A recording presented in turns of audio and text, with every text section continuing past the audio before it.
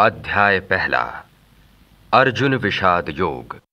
धर्म धर्मक्षेत्रे कुरुक्षेत्रे समवेतायुत्सवः मामकाः पाण्डवाश्चैव किमकुर्वत संजय धृतराष्ट्र ने कहा हे संजय धर्म क्षेत्र रूपी कुरुक्षेत्र में युद्ध करने की इच्छा से एकत्रित हुए मेरे तथा पांडु के पुत्रों ने क्या किया? दृष्ट्वा तु पाण्डवानेकम् व्यूढं दुर्योधनस्तदा। आचार्यम्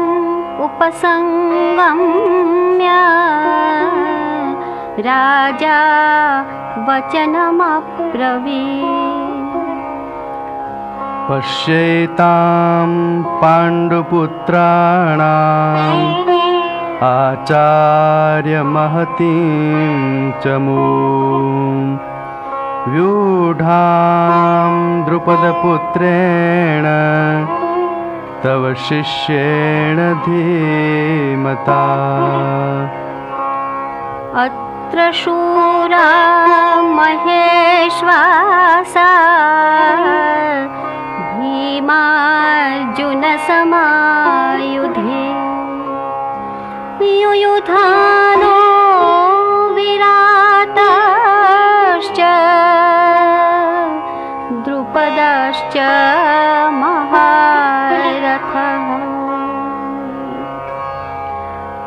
दृष्टकेतुश्चेकितानः काशीराजश्च वीर्यवान्। पुरुजित् कुन्तिभोजश्च शैब्यश्च नरपुङ्गवः। युधामन्युश्च विक्रान्त उत्तमौजाश्च वीर्यवान्। सौभद्रो द्रौपदेयाश्च, सर्व एव महारथाः। संजय ने कहा, उस समय पांडवों की सेना को अपनी व्यूह रचना में तैयार खड़ी देखकर राजा दुर्योधन द्रोणाचार्य के पास जाकर कहने लगे, हे द्रोणाचार्य, आपके बुद्धिमान शिष्य द्रुपद के पुत्र दृष्टद्युम्न ने जिसकी व्यूह रचना की है, ऐसी इस विशाल पांडव सेना को आप देखिए।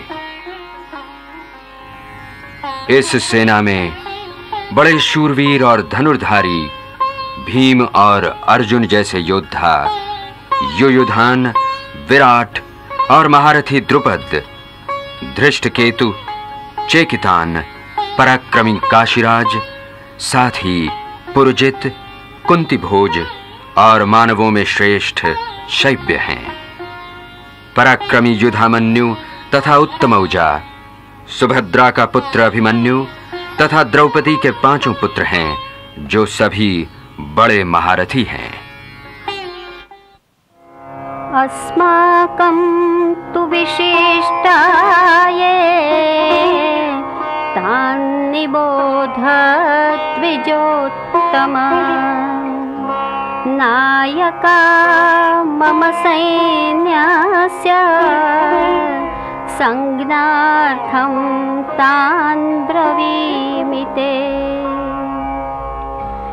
भवान् भीष्माश्च कर्णाश्च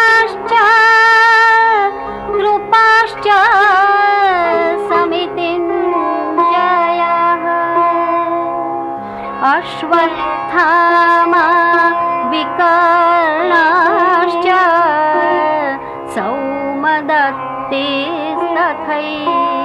च।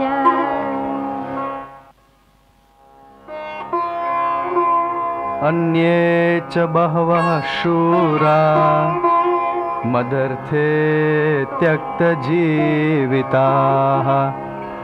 नानाशस्त्रप्रहरणाः सर्वे युद्धविशारदाः। अपर्याप्तं तदस्माकं बलं भीष्माभिरक्षितम्। पर्याप्तं त्विदमेतेषां बलं भीमाभिरक्षितम्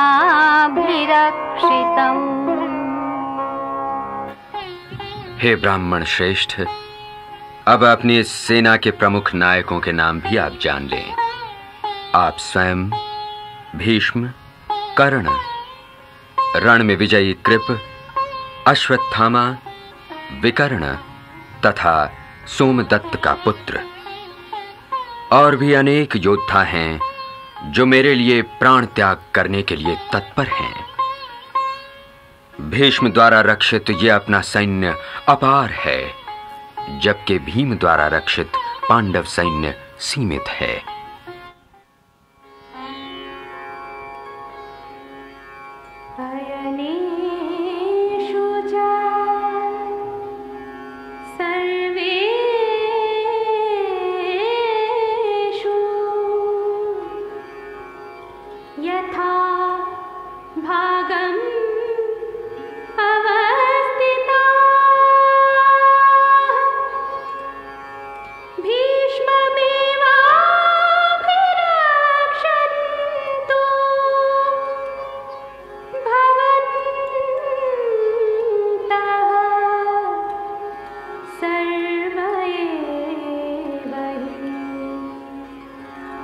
सब वीर मिलकर सर्वे अयन या सेना व्यूह के द्वारों में अपने स्थान पर जमकर हर एक दिशा से भीष्म पितामह की ही रक्षा करें।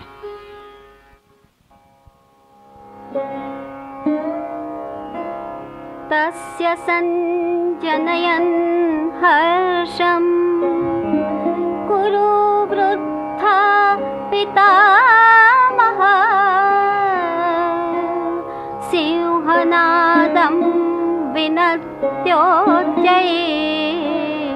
शङ्खं दद्मौ प्रतापवान्। ततः शङ्खाश्च भैर्यश्च पणवानखगोमुखाः सहसैवाभ्यहन्यन्त सशब्दस्तुमुलोऽभवत् उसे आनंदित करने के लिए प्रतापी तथा वयोवृद्ध कुरु योद्धा भीष्म पितामह ने सिंह की भांति गर्जना की और अपना शंख ऊँचे स्वर में बजाया। इसके बाद अनेक शंख, भेरियाँ, ढोल, नगाड़े और गोमुख सहसा बजने लगे। इन सब की ध्वनि बड़ी प्रचंड हुई।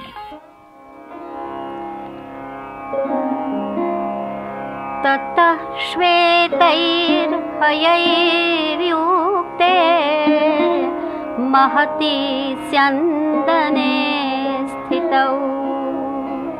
माधवः पाण्डवाश्चैव दिव्यौ शङ्खौ प्रदध्मतुः पाञ्चजन्यं ऋषिकेशा देवदत्तं धनञ्जयः। पौण्ड्रं दध्मौ महाशङ्खं भीमकर्मा वृकोदरः अनन्तविजयं राजा कुन्तीपुत्रो युधिष्ठिरः नकुलः सहदेवश्च सुघोषमणिपुष्पकौ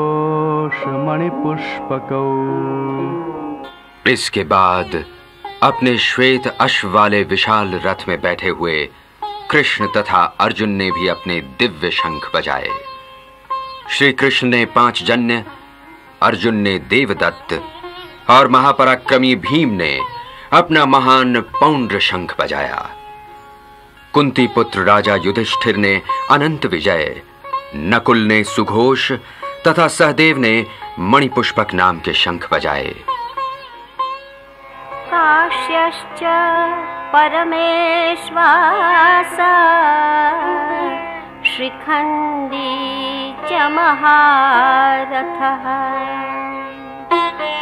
दृष्टद्युम्नो विराटाश्च सात्यकीश्च पराजितः द्रुपदो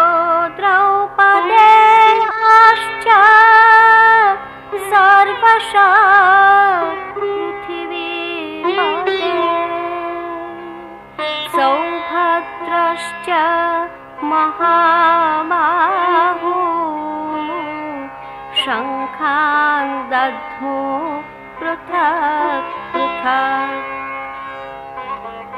सघोषोदार्तराष्ट्राणाम् हृदयानि व्यदारयत्। नभश्च पृथिवीं चैव तुमुलो व्यनुनादयन्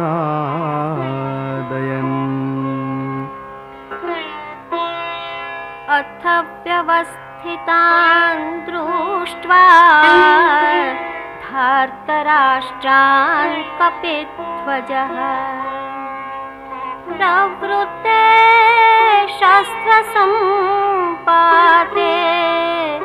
धनुरुद्यम्य पाण्डवः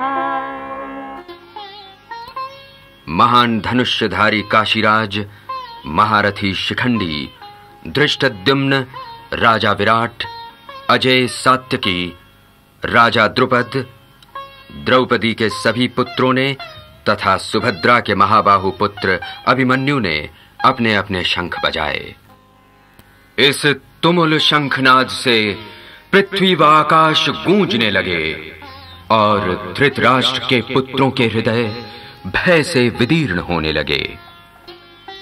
तब जिसकी ध्वजा पर हनुमान की मूर्ति अंकित थी, ऐसे अर्जुन ने कौरवों को उत्तम व्यवस्था पूर्वक खड़े देखकर तथा शस्त्रों के चलाने का समय होने पर अपना धनुष उठाया।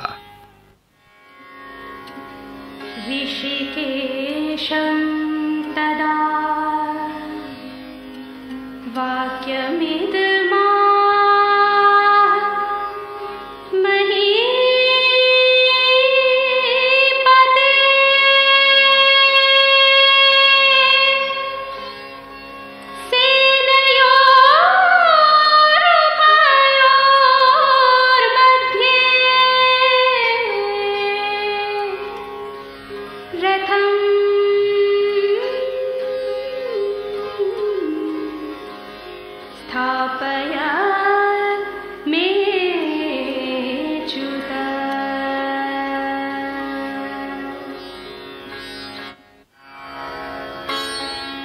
Yeah.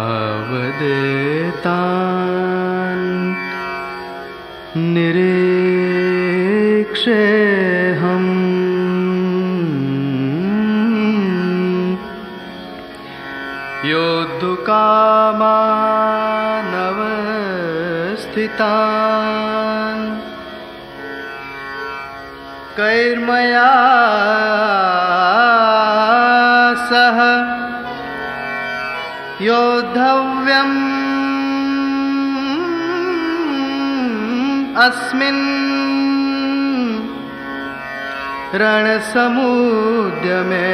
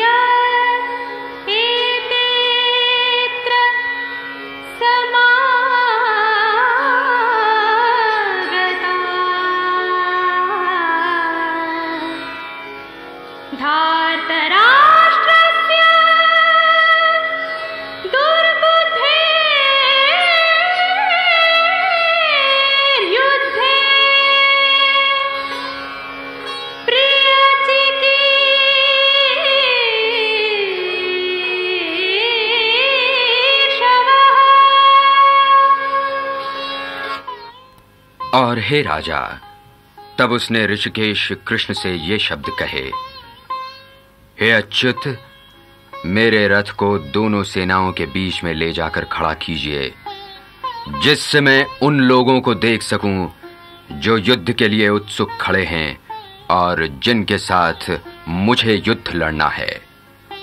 मैं उन सबको देखना चाहता हूँ जो दुष्ट बुद्धि वाले दुर्योधन का इस युद्ध में भला करने के लिए एकत्रित हुए हैं। एव एवमुक्तो ऋषिकेशो गुडाकेशेन भारत।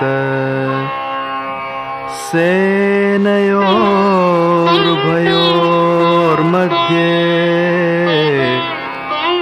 स्थापयित्वा रथोत्तमम्। भीष्मद्रोणप्रमुखतः सर्वेषां च महीक्षिता उवाच पार्थ पश्येतान् समवेतान्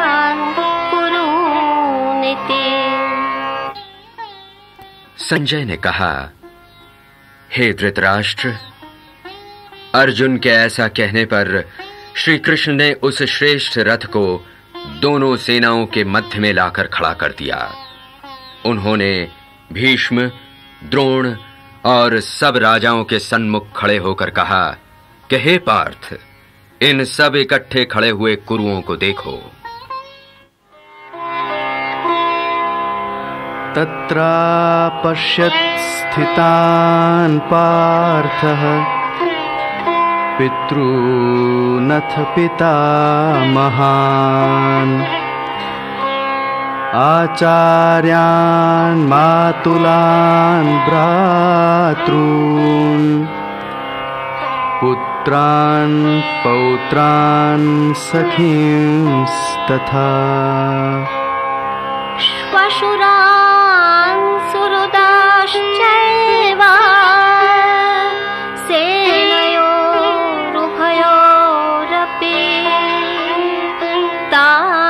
समीक्ष्य स कौन्तेय सर्वान् बन्धूनवस्थितान्। कृपया परयाविष्टो विषीदन्निदमब्रवी दृष्ट्वेमं स्वजनं कृष्ण। युयुत्सुं समुपस्थितम्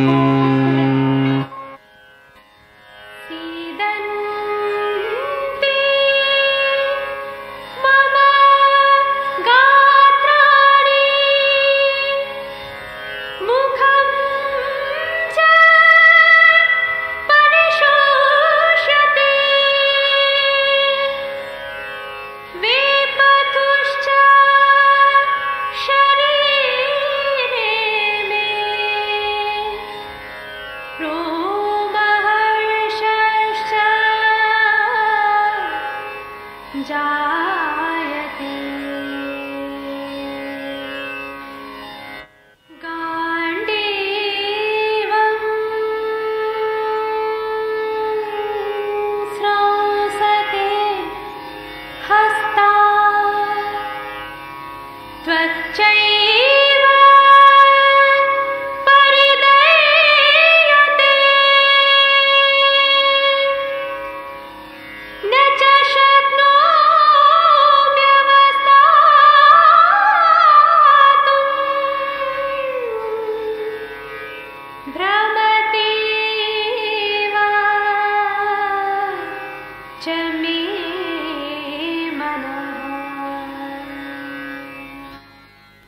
इस पर अर्जुन ने दोनों सेनाओं में अपने ही पितामहों, आचार्यों, मामाओं, भाइयों, पुत्रों, पौत्रों तथा मित्रों को खड़े देखा। दोनों सेनाओं में श्वसुर मित्र बंधु भी खड़े थे। जब कुंती पुत्र अर्जुन ने इन सबको इस प्रकार खड़े देखा तो उसका कोमल हृदय भर आया और वो उदास तथा अत्यंत करुणापूर्ण मन से कहने लगा, हे कृष्ण अपने लोगों को अपने ही सामने युद्ध के लिए अधीर खड़े देखकर मेरे गात्र शिथिल हो रहे हैं। मेरा मुँह सूख रहा है और मेरे रोंगटे खड़े हो रहे हैं। ये गांडीव धनुष भी मेरे हाथों से फिसला जा रहा है और मेरी त्वचा में जलन हो रही है। मैं अब अपने पैरों पर खड़ा नहीं रह सकता और मेरा मन चकरा सा जा रहा है। निमित्तानि च पश्यामि। विपरीतानि केशव। न च श्रेयोनुपश्यामि हत्वा स्वजनमाहवे हे केशव, अब मुझे सब विपरीत चिन्ह दिखाई दे रहे हैं। अपने ही संबंधियों को इस युद्ध में मारने से मुझे कोई भलाई होती नज़र नहीं आती।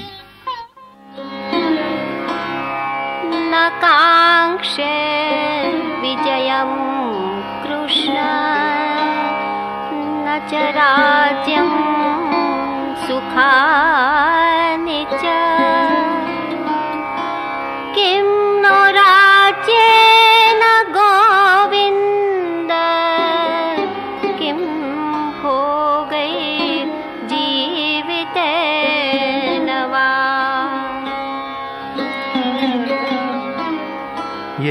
येषामर्थे काङ्क्षितं नो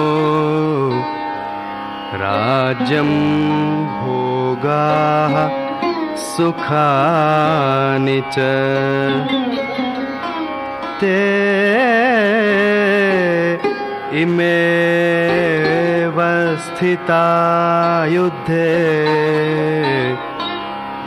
प्राणान् त्यक्त्वा धनानि च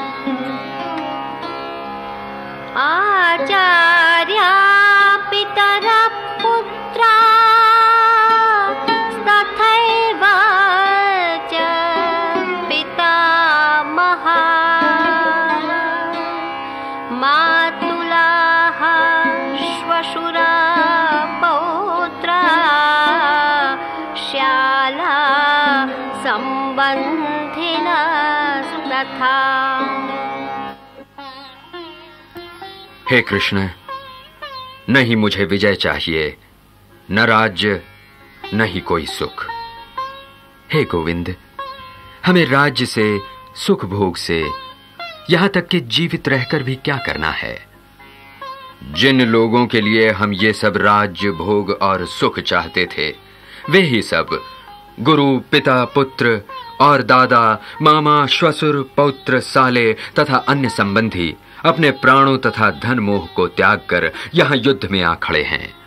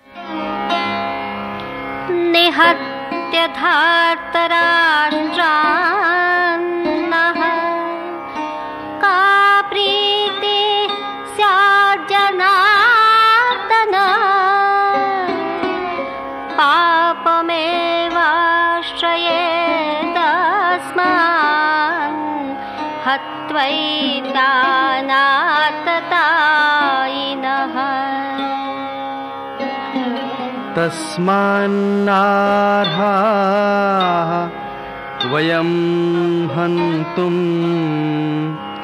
धार्तराष्ट्रान् स्वबान्धवान्। स्वजनं हि कथं हत्वा सुखिनः श्याम माधव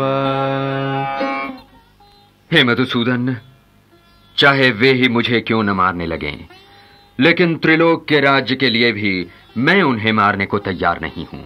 फिर इस पृथ्वीलोक के राज्य के लिए तो कहना ही क्या? हे जनार्दन, धृतराष्ट्र के पुत्रों को मारने से हमारा क्या भला होगा? इन दुष्ट आतताइयों को मारने से तो हमें ही पाप लगेगा। इसलिए इन संबंधी कौरवों को मारना हमारे लिए योग्य नहीं है। हे माधव हमारे ही बंधुओं को मारकर हम किस प्रकार सुख पा सकते हैं? यद्यप्येते न पश्यन्ति लोभोपहतचेतसः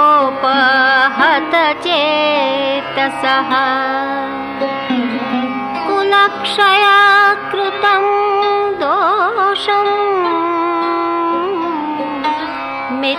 मित्रद्रोहे च पातकम्।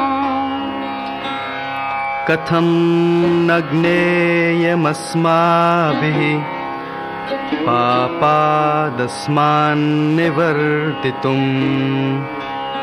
कुलक्षयकृतं दोषम्। प्रपश्यद्भिर्जनार्दन यद्यपि ये लोग लोभ से भ्रष्ट चित्त होने के कारण परिवार के विनाश की बुराई और मित्र दोह के पापों को नहीं देख पा रहे हैं। फिर भी हे जनार्दन, हम तो कुल के विनाश का दोष अच्छी तरह जानते हैं और इस पाप से अलग रहने का विचार हमें क्यों न करना चाहिए? कुलक्षये कुलधर्मा सनातना। धर्मे नष्टे कुलं कृत्स्नम् अधर्मोऽभिभवत्युत। अधर्माभिभवात् कृष्ण। प्रदुष्यन्ति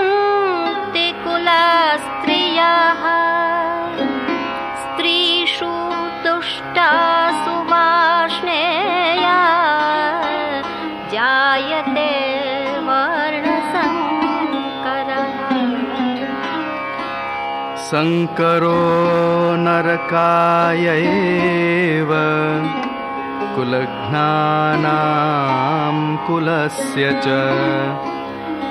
पतन्ति पितरो ह्येषाम्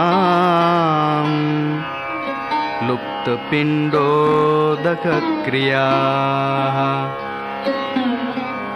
दोषैरेतै कुलघ्नानाम् वर्णसङ्करकारकैः उत्साद्यन्तजातिधर्माः कुलधर्माश्च शाश्वताः। कुल के क्षय से सनातन कुल धर्म जो परंपरा से चला आता है, वो नष्ट हो जाता है। और कुल धर्म के नष्ट होने से पूरे ही परिवार पर अधर्म का प्रभाव पड़ता है। हे कृष्ण, जब अधर्म पूरे कुल में व्याप्त हो जाता है तो कुल की स्त्रियों में दुराचार प्रवृत्त होता है। जब स्त्रियाँ दोष युक्त हो जाती हैं, तभी विभिन्न जातियों का दोषित सम्मिश्रण पैदा हो जाता है। हे वार्ष्णेय कृष्ण, वर्ण संकर के कारण कुल घात के पुरुष पैदा होते हैं और सारा ही कुल नरक में पहुँच जाता है। साथ ही पिंड प्रदान तथा जल तर्पण आदि धार्मिक संस्कार लुप्त होने से पितरों का भी पतन होता है। कुल घातकियों के इस वर्ण संकर दोषों के कारण जाति धर्म व कुल धर्म का भी नाश हो जाता है। उत्सन्नकुलधर्माणाम्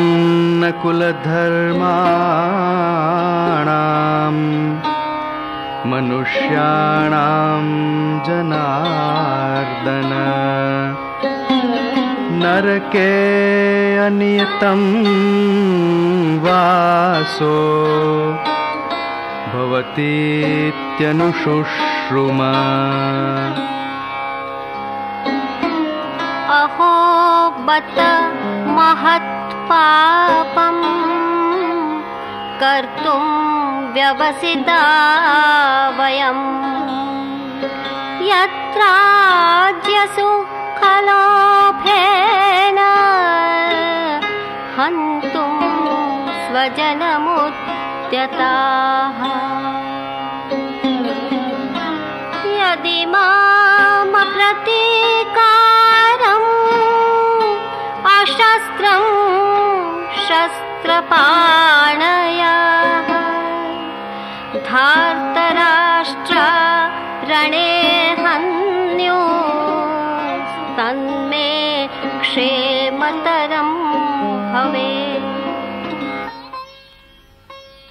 हे जनार्दन, जिसके कुल धर्म का विनाश होता है, ऐसे मनुष्यों का अवश्य ही नरक में निवास होता है, ऐसा हम सुनते आए हैं।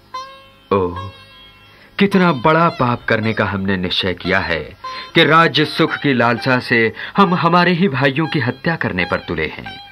इससे तो यही अधिक कल्याणकारी होगा कि ये शस्त्रधारी धृतराष्ट्र के पुत्र मेरे बिना शस्त्र उठाए या विरोध किए ही मुझे रण क्षेत्र में मार डालें। एवमुक्त्वार्जुनः सङ्ख्ये रथोपस्थ उपाविशत् विसृज्य सशरं चापम् शोकसंविघ्नमानसः। इस प्रकार रणभूमि में अपना वक्तव्य कहकर शोक से व्याकुल चित्त होकर अर्जुन ने धनुष्य बाण छोड़ दिए और अपने रथ में बैठ गया। इति श्रीमद्भगवद्गीतासुपनिषत्सु ब्रह्मविद्यायां योगशास्त्रे श्रीकृष्णार्जुनसंवादे अर्जुनविषादयोगो नाम प्रथमोऽध्यायः।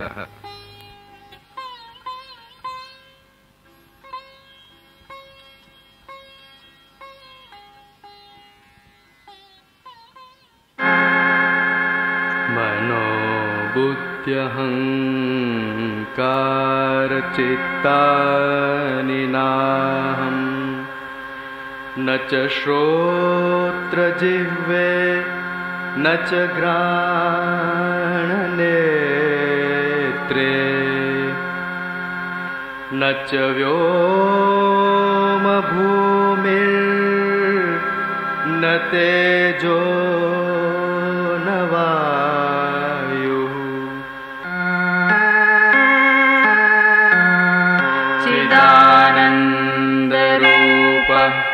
शिवोऽहं शिवोऽहं चिदानन्दरूपः। शिवोऽहं शिवोऽहम् न च प्राणसन्ने न वै पञ्चवायुः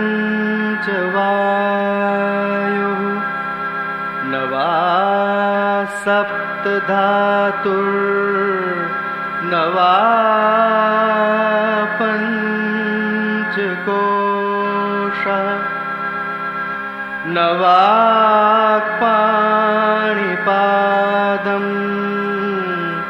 न चोपस्थपायु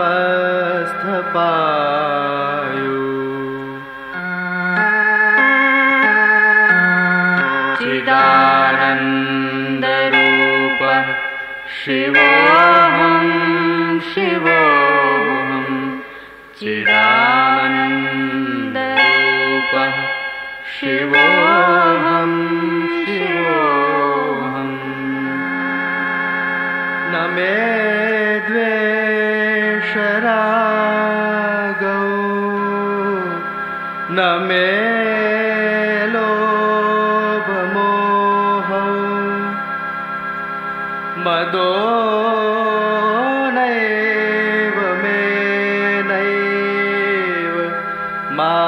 मात्सर्यभावः न धर्मो न चार्थो न कामो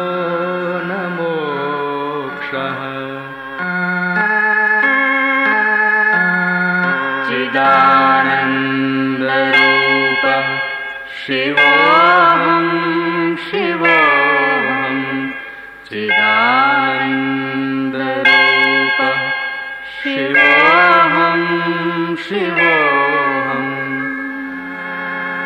न पुण्यं न पापं न सौख्यं न दुःखम् न मन्त्रो न तीर्थं न वेदा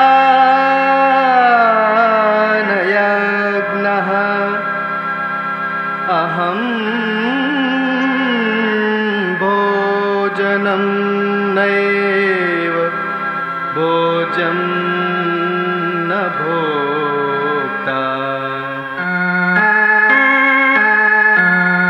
चिदानन्दरूपः शिवोऽहं शिवोऽहं। चिदानन्दरूपः शिवोऽहं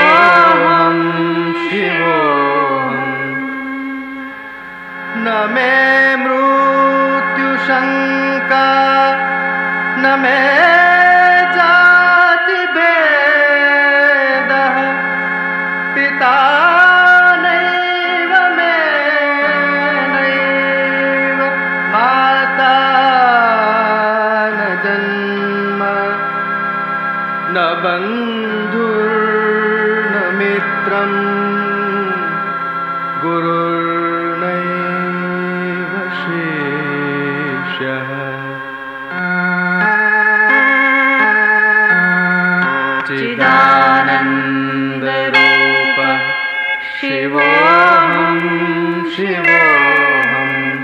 चिदानन्दरूपः शिवोऽहं शिवोऽहम् अहं निर्विकल्पो निराकाररूपो